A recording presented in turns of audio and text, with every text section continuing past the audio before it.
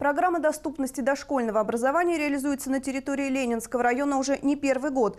Построено несколько детских садов, приняты в муниципальную собственность ведомственной ДОУ. И работа продолжается. К 1 сентября текущего года первых воспитанников примут еще два образовательных учреждения в новом микрорайоне в сельском поселении Булатниковское.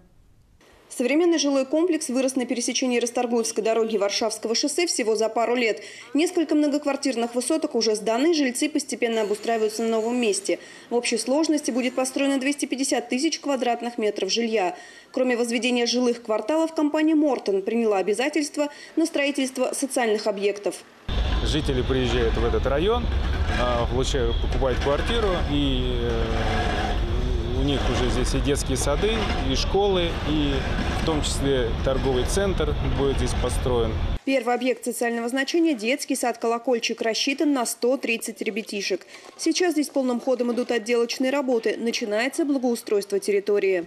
В саду будет семь групп, в том числе ясельная, музыкальные и спортивные залы, кабинеты для занятий творчеством. Строительство детского сада ведется под контролем управления образования района. А на днях строительную площадку посетил и руководитель районной администрации. Сергей Кошин осмотрел детский сад, пообщался со строителями. Еще один социальный объект строится неподалеку от колокольчика. Это будет средняя общеобразовательная школа с дошкольным отделением. Учениками школы уже в этом сентябре станут 290 юных жителей Ленинского района, а получить дошкольное образование смогут 95 детей младшего возраста. Кстати, эти образовательные учреждения возводились по индивидуальным проектам. Здесь мы также планируем, не собственно не планируем, мы уже начали строительство православного центра большого образовательного, э, порядка 3700 квадратных метров. Это все тоже будет в инфраструктуре, поликлиника появится. Одним словом, все то, что надо будет жителям. Открытие школы детского сада намечено на 1 сентября 2013 года. Компанией «Мортон» запланировано строительство в этом микрорайоне еще одной школы на 890 учащихся.